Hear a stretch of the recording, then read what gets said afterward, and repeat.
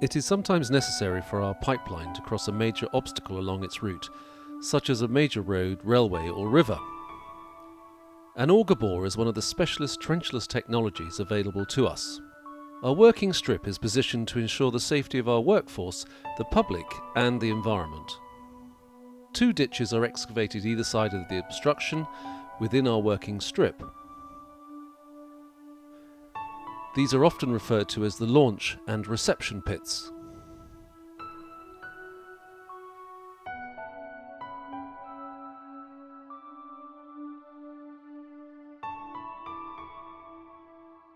An access ramp into the pit is installed, with the base and back typically hardened using concrete. Rails are installed on one side of the pit to carry the boring machine.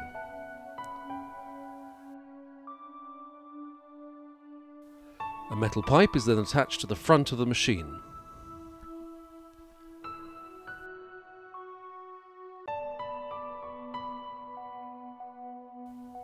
As the rig pushes forward, the pipe is pushed into the ground.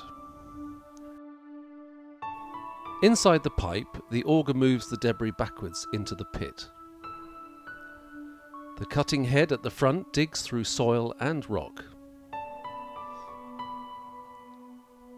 When the first pipe is pushed all the way in, the rig is moved backwards on the rails and a new pipe is dropped in front of it.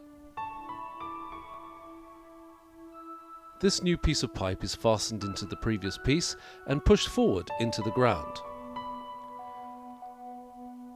Every time a new length of pipe is added, the front is pushed further underneath the obstacle, with the auger moving all the debris.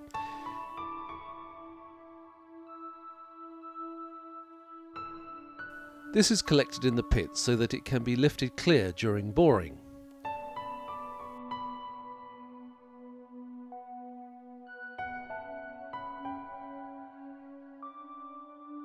The cutting head is removed once it reaches the opposite pit.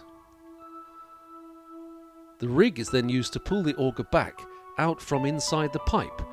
These are lifted out in sections.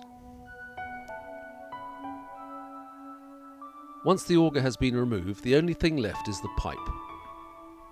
The rig and rails can then be removed, with the pipe acting as a duct or sleeve for the water main. We usually install two or more auger bores side by side, so if one of the new crossings starts to leak, we can still use the second.